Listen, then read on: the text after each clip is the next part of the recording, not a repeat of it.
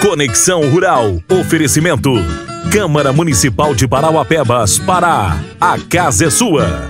Tecnicom Contabilidade. Rio Verde, Parauapebas, Pará. Agro Brasília 2023, de 23 a 27 de maio no Parque Ivan Sense. Ótica Maia, Imperatriz, Maranhão e Parauapebas, Pará.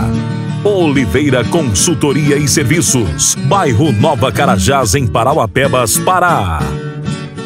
Olá, amigos do Pará, do Maranhão, do Tocantins do Brasil. Estamos começando mais um Conexão Rural. Há mais de 11 anos, a voz do campo da TV. E vamos para o destaque do programa de hoje, desde já agradecendo o seu carinho e a sua audiência. Expoama 2023 de Marabá é lançada em evento com a presença de autoridades, diretoria do Sindicato Rural e produtores rurais. E começa dia 1 de julho com a grande cavalgada e a exposição vai de 5 a 9 de julho. Jornalistas do agronegócio visitam a Troll Nutrition e Delman em Mirassol, São Paulo e conhecem o NutriOpt.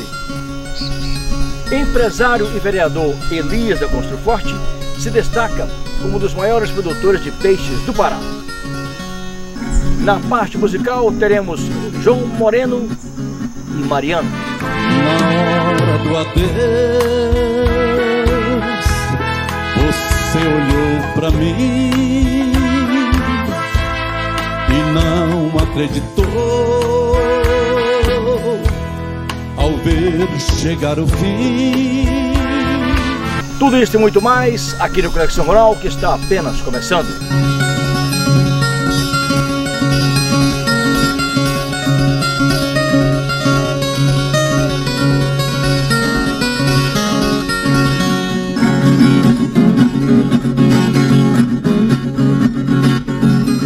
E a gente começa o programa de hoje falando sobre a produção de peixes do empresário e vereador Elias Ferreira, mais conhecido como Elias da Construforte. Confira.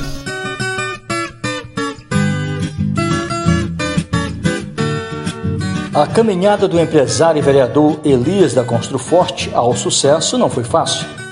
Maranhense, radicado há mais de três décadas em Parauapebas, no Pará, Elias que hoje exerce o segundo mandato de vereador, é há muito tempo um dos principais produtores de peixes do estado do Pará.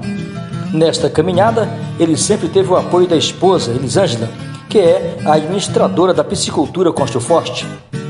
Na piscicultura Construforte, na região do Itacaiunas, no município de Marabá, também no Pará, a 80 quilômetros de Parauapebas, Elias implantou 12 tanques, em média com 2.500 metros quadrados, com capacidade para 30 mil peixes cada um. Ao todo, são 80 hectares de lâminas d'água, ou seja, 10 mil peixes por hectare. São produzidos 50 mil quilos de peixes por mês. O carro-chefe é a tambatinga, mas são produzidos também o tambaqui, o surubi, o panga e o famoso pirarucu, entre outros.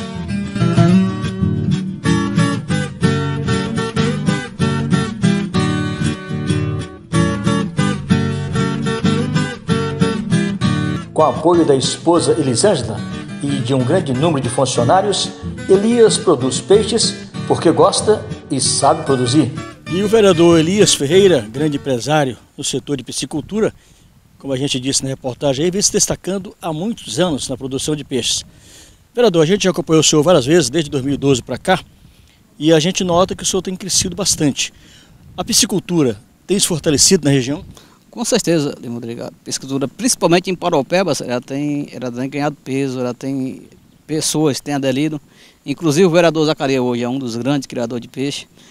E ela tem crescido. E também é, tem, ainda tem espaço. Futuramente, se Deus quiser, Paropebas vai ganhar uma fábrica de ração, onde vai é, facilitar mais pessoas criar peixe. E o peixe é um alimento saudável, né?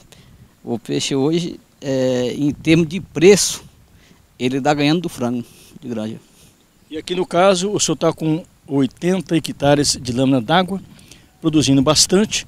E o principal, a principal produção é de tabatinga? Hoje nós, nós, nós criamos especificado. A gente tem a tabatinga, que é o carro-chefe. Mas nós criamos o tilápia, o surubim, o pirarucu, a cromatá, até o próprio cascudo está sendo criado em, em, laboratório. E também estamos é, em experimento o panga.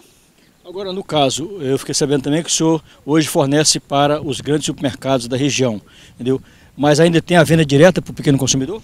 Lima, aquelas primeiras vezes que você me é, veio aqui entrevistar, a gente tinha um trabalho, a gente pegava o peixe daqui, levava para o Paraupeba e distribuía em Paraupebas. Hoje não, hoje a gente vende o peixe aqui na fazenda. E quem compra aqui na fazenda são os grandes. Compra e revende em Paraupebas. E a demanda continua grande? A demanda, é, eu acredito que cresceu um pouco. A facilidade também, porque é, evitou o trabalho de transporte nosso e esse, esse trabalho agora fica por conta do atravessador. Agora, vereador, há uma, toda, toda uma preocupação. O senhor tem uma equipe técnica que trabalha com o senhor, o senhor tem um engenheiro agrônomo, tem um zootecnista. É, tem que ter todo um cuidado, porque dependendo do erro, pode ser prejudicial, ou seja, pode perder, assim como o produtor de soja pode perder uma safra de soja, dependendo do erro, também pode perder aqui uma boa quantidade de peixe, né? Com certeza, o peixe você tem que ter um tamanho certo para ir para o mercado. Tem mercado em Paraupebas, que eu acredito que fica na cidade nova ali, que o peixe maior melhor, tem os mercados mais a ponta, que os peixes menor melhor. Mas geralmente a gente começa, começa a levar o peixe a partir de 1,5 kg, 1,5 a 4 kg. Esse é o tamanho ideal. Sobre os cuidados, você tem que ter 60% é água. Você tem que ter água boa, tem que ter uma boa reposição, tem que dar ração no horário certo, na quantidade certa e tem que ter um bom manejo. Agora, no caso, é, a cidade continua crescendo, isso acha que é ainda muito mercado para quem deseja trabalhar com piscicultura na região? Eu continuo te falando o que eu te falei, aí eu acredito que há uns 10 anos atrás, né? Uhum. No mercado do peixe nós continuamos engateando ainda. Tem muito mercado pela frente. Isso incluindo tambaqui, tambatinga. No caso da tilápia, está crescendo também? A tilápia é um peixe mais difícil de se criar aqui na nossa região. Primeiro porque é proibido se criar tilápia. Então você tem que criar um sistema fechado para ela não se reproduzir. Era criada aí por sul, é, eles criam em grande quantidade. Nós aqui não, não criamos em grande quantidade, a gente coloca.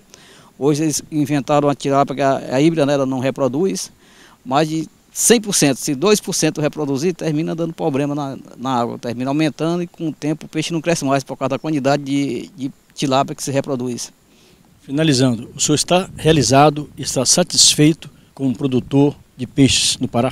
Estou avançando, é, tenho grande ajuda, né, que hoje quem toma de conta da piscicultura é minha esposa, tá, acredito que está tocando bem melhor do que eu, porque hoje eu acho que ela conseguiu tirar esse esse mercado que a gente levava para o Pebas, então ela vende aqui hoje, então ela simplificou e trabalhou mais na fazenda. Então hoje a gente produz mais que naquele tempo e eu estou satisfeito sim. Só mais uma pergunta.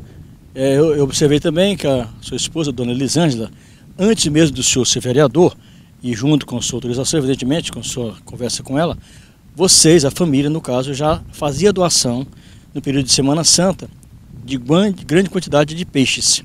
Como é que o senhor se sente ajudando essas pessoas que precisam do alimento? E o senhor já fazia isso antes e agora a sua esposa continua fazendo? Isso é a tradição. A gente, desde que iniciou a criação de peixe, toda quarta e quinta-feira a gente distribui peixe em Paropeba, nos, nos bairros mais carentes. É, ontem foi distribuído, hoje eu acho que a equipe de vocês acompanha essa distribuição e para nós é muito satisfatório fazer isso.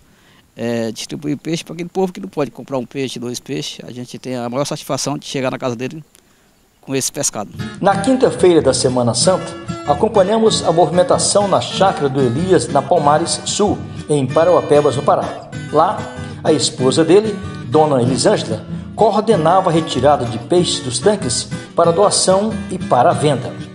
A venda é feita numa loja na própria chácara. O peixe é retirado de um pequeno tanque, tratado, pesado e entregue para o cliente com um ótimo atendimento. O amigo do vereador, do Zentão, chegava da fazenda com carregamento de peixes para distribuição a várias comunidades e para venda também. Por isso, o peixe tinha que ser pesado. Nós acompanhamos a primeira etapa da distribuição de peixes para a comunidade do bairro Nova Conquista, em Parauapebas. Crianças, jovens e adultos chegavam a todo instante para buscar peixes para saborear no fim de semana de Páscoa. A distribuição era feita pelos funcionários da piscicultura Costa Forte, Cowboy, Pereira e outros. E neste período de Semana Santa, já é uma tradição da dona Elisângela, esposa do vereador Elias, fazer a entrega aqui com o apoio do Cowboy, trabalhando no grupo, entregando aqui peixe para o pessoal aqui de alguns bairros. Como é seu nome? Rayane. Mora aqui na Palmares? Sim, É a primeira vez que você pega peixe ou todo ano a senhora recebe? é a primeira vez. Primeira vez, né? Na Semana Santa é bom demais, né? Ah, é. Ajuda bastante, né? Ajuda. Pra quem não tem, É, né? é. A senhora trabalha aqui? Dona de casa mesmo. É, né? Uhum. A senhora mora na Palmares também? Sim. Todo ano a senhora vem ou é a primeira vez? Ah, Tá, é a segunda. Segunda, né? Isso. Chega o peixe na hora certa, na Semana Santa, né? Com certeza. Ajuda bastante, né? Ajuda. E prepara lá com muito carinho e é só reunir a família. Ora, hoje vai ser bom. O pai tá em casa, né? Todo ano a senhora vem buscar o peixe? É a primeira vez. Tem quantos filhos? Dois. Levou dois ou um peixe? Dois. Já ajuda bastante na Semana Santa, né? Oxi, demais. Você tá, tá pra semana toda. Quer fazer uma caldeirada? Ora, se não. Vou sim. É, Essa atitude do vereador, da dona Elisângela, há muitos anos fazendo isso, inclusive antes mesmo dele ser vereador, o que, que representa, na sua opinião, para o povo no momento de Semana Santa, inclusive algumas pessoas que não podem nem comprar o peixe? É muito gratificante para a comunidade, porque assim, a nossa comunidade ela tem a faixa de uns 60%, 70% de pessoas carentes, né, no nosso bairro. Então muita gente desempregado, né? Então assim, o Elias é, todos os anos eles fazem essa essa ação social. Então assim, a gente agradece muito aí toda a comunidade agradece essa ação que ele faz todo ano. E o pessoal, quando chega essa época agora, todo mundo já fica ansioso, aguardando esse momento chegar, né, para comer um peixe na, na, na Sexta-feira Santa, né? Então, assim, é, é muito importante para toda a comunidade, porque hoje, na verdade, muitos não têm o que pôr na mesa para comer. Então, assim, muitas vezes tem só um arrozinho, um feijão, não tem uma mistura. Então, esse peixe chega na hora certa para trazer a alegria aí de toda a comunidade. O senhor já faz um cadastramento antes, ou seja, não tem perigo de alguém levar vantagem em cima do outro, ou seja, cada um vai receber o que realmente a pessoa que está precisando. né? Justamente, todo mundo foi feito a inscrição, pegado o nome de todo mundo, né? Então todo mundo está inscrevido aí, não tem como passar para outras pessoas que não fez a inscrição. Enquanto isso, na Fazenda da Piscicultura Constru Forte, na área do Rio Itacaiunas, já no município de Marabá, também no Pará, funcionários da empresa levavam uma extensa rede de arrasto para um dos tanques para pescar mais peixes. Só na água eram cerca de 10 homens, fora o pessoal de apoio nas beiradas do tanque. Tudo feito com muita calma para não estressar os peixes.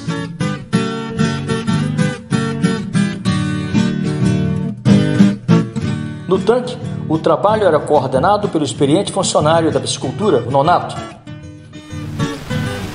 Depois de alguns minutos, com muita tranquilidade, finalmente a pescaria chega ao fim e os peixes são ensacados, pesados e levados para mais distribuição às comunidades carentes e para venda. Como a gente acompanhou, vários funcionários trabalhando aqui com essa rede de arrasto e neste momento agora eles estão retirando os peixes para ensacá-los para venda e também para fazer as doações. É o momento final do trabalho e tem que tirar com todo cuidado para ver o tamanho do peixe ideal para que possa ser retirado aqui deste tanque na piscicultura Constru Forte. O Donato estava feliz e emocionado com mais um dia de trabalho para pescar peixe para pessoas que não tinham nada para comer no domingo de Páscoa. O Raimundo Nonato trabalha aqui na piscicultura Constru Forte há mais de 20 anos. É um dos coordenadores aqui dessa retirada dos peixes aqui dos tanques. Nonato, uma rede dessa aí, ela comporta quantas toneladas? Ela vem, depende da, da, da, da- se o tanque estiver baixo, ela puxa aí até duas toneladas de peixe. É, você viu aí como é que a gente puxou agora? O tanto que peixe veio. Se for pegar esse peixe aí, ele dá mais de 2 mil quilos. Agora, no caso, a gente observou aqui, conversando com o vereador, é, essa é uma rede pequena, tem rede maior ainda, né? Tem, uma rede maior. Essa aqui é uma das menores, porque você vê que ela não, não chega a dar o, o espaço de um lado para o outro. Ela vem só pelo meio, mas nós tem redes maiores que dá de um lado a outro. Às vezes quando é maior, a gente emenda as duas para poder puxar o peixe. Agora, é um trabalho que exige a participação de várias pessoas. Tem várias pessoas, aí você viu tanta gente aí, e aí pouca gente não funciona. Tem que ser no mínimo 10 pessoas para poder trabalhar. Agora que hoje é um dia especial, vocês estão fazendo um trabalho de um peixe para doação. Como é que você se sente também junto com a família, fazendo esse trabalho para fazer essa doação? Ah, é legal, cara, porque aí tem muita gente que precisa, muita gente que às vezes quer comer um peixe, mas às vezes não tem condição, não tem um dinheiro, e a, a participação da doação, isso aí é muito importante pra gente. É muito bom. Eu fico feliz, porque tem vezes que você vai levar o peixe numa mesa de uma pessoa que às vezes não tem o, o dinheiro para comprar, né? E com a doação vai ter um peixe na mesa amanhã para almoçar com a família, com os filhos, isso é muito importante. E o trabalho que o vereador está fazendo, isso é muito importante, né? E toda, é, todo ano ele faz esse trabalho, o vereador. Ele se junta com a, com a galera, pergunta os caras, ó, a gente vai fazer a doação de peixe. Então cada um tem quantas famílias? Aí eu tenho 10, aí eu tenho, eu tenho 5, eu tenho 6. Então todos eles fazem a participação, o pessoal da coordenação faz a participação e, e faz essa doação de peixe. Então sai em casa em casa, leva para as pessoas, entrega tudinho direitinho. Então isso é muito interessante, isso é muito bom, um trabalho que vem sendo feito há muito tempo não é da agora, já é muito tempo. Então isso para nós é muito gratificante e a gente trabalha com, com felicidade que a gente está levando peixe na mesa do, do, das pessoas que precisam. Durante a Semana Santa deste ano, a Piscicultura Constru Forte distribuiu mais de 5 toneladas de peixes para comunidades carentes em Parauapebas. De acordo com a Associação Brasileira de Piscicultura, Peixe BR, a piscicultura brasileira atingiu 860.355 toneladas produzidas em 2022. O número representa um crescimento de 2,3% no ano passado, quando comparado a 2021. Entre os principais resultados da publicação, a tilápia permanece com destaque entre os peixes de cultivo e teve aumento de 3% na produção nacional, com 550.060 toneladas em 2022. Os peixes nativos também avançaram 1,8% nessa mesma comparação, passando de 262.370 toneladas para 267.060 toneladas.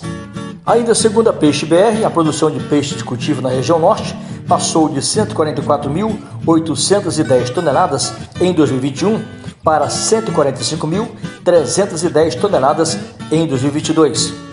E a produção no Nordeste passou de 162.250 toneladas para 170.065 toneladas de peixe de cultivo.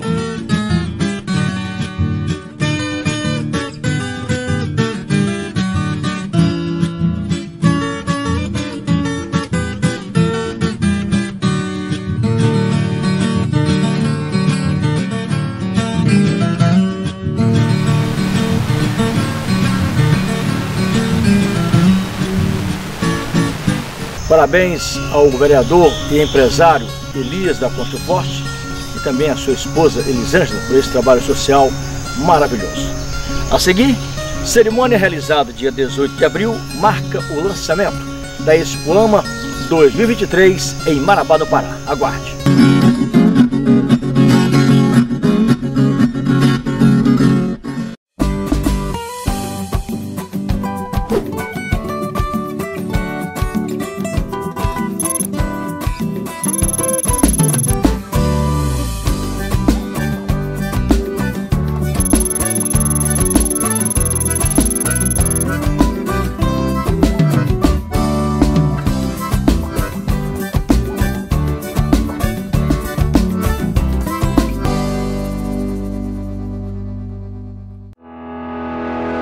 O produtor rural conhece os desafios de produzir com sustentabilidade. E a Agro Brasília traz o que é de mais inovador em soluções tecnológicas para superar esses desafios. Pesquisas, insumos, máquinas e implementos agrícolas, pecuária, veículos e muito mais. Agro Brasília 2023. Tecnologia para sustentabilidade. De 23 a 27 de maio no Parque Tecnológico Ivaldo Sense. Participe! Oliveira Consultoria e Serviços é uma empresa especializada em manutenção industrial. Fabricamos porteiras de ferro para fazendas e chácaras, assim como troncos de contenção de alta qualidade, com porteira lateral para facilitar o manejo do gado com rapidez e segurança, além de estrutura para embarque de gado e gaiolas para transporte de animais. Fabricamos ainda revestimento cerâmico magnético, revestimento anticorrosivo e antiabrasivo e oferecemos serviços e reformas eletromecânicas. Temos uma equipe experiente e trabalhamos com tecnologia avançada. Oliveira Consultoria e Serviços, Rua 20, quadra 141, lote 33, Nova Carajás, Parauapebas, Pará, 94 99973 4004.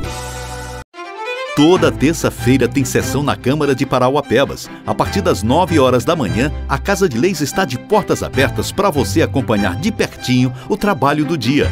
E a gente transmite as sessões ao vivo. Para assistir pelo YouTube, basta buscar pelo canal Câmara de Parauapebas ou sintonize 95.7 FM e ouça tudo pela Rádio Câmara de onde você estiver. Câmara Municipal de Parauapebas. A casa é sua. Foi com uma imensa satisfação que a Tecnicom Contabilidade recebeu o Prêmio Destaque Empresarial 2021 como reconhecimento de melhor escritório de contabilidade. Esse prêmio representa o esforço da nossa equipe em garantir a você que tem empresa ou é prestador de serviço, segurança e liberdade para focar no que realmente importa para o negócio, crescimento e lucros. Este prêmio é de todos que confiam no nosso trabalho. Gratidão aos profissionais da Tecnicom. Em 2022, nós estamos aqui para descomplicar seus serviços de contabilidade. Inaugurado em Xinguara, o Neres Hotel. Localizado às margens da BR-155, o Neres Hotel oferece o que há de melhor em acessibilidade, modernidade, tecnologia e conforto para você, cliente. Quartos executivos, suítes com hidromassagem, café, TV a cabo, Wi-Fi, estacionamento e funcionamento 24 horas. Neres Hotel. O conforto que você merece. O produtor rural conhece os desafios de produzir com sustentabilidade. E a Agro Brasília traz o que é de mais inovador em soluções tecnológicas para superar esses desafios. Pesquisas, insumos, máquinas e implementos agrícolas, pecuária, veículos e muito mais. Agro Brasília 2023. Tecnologia para sustentabilidade. De 23 a 27 de maio no Parque Tecnológico Ivaldo Sense. Participe! Se você, estudante ou professor, assim como eu, deseja trocar o seu óculos de grau velho por um novo, vem comigo que eu vou te mostrar. Lente visão simples com filtro azul de 188 por 94 reais. Todas as lentes progressivas digitais com filtro azul com 50% de desconto. E você ainda paga em 5 vezes nos cartões. E é claro que vocês não vão perder essa grande promoção, né? Troque seu óculos velho por um novo aqui na Ótica Maia. O governo do Pará entrega a ponte do Outeiro totalmente reconstruída. Agora, a travessia está muito mais rápida e segura para pedestres, motociclistas e motoristas. Um benefício para todos, né? Agora ficou bem mais rápido a mercadoria chegar ao cliente, bem seguro, tanto para passar por cima quanto por baixo. O espaço para navegação ganhou dois canais, passando de 60 metros para um de 80 metros e o outro de 100 metros. Agora nós temos uma ponte mais moderna, mais segura, mais bonita. Governo do Pará.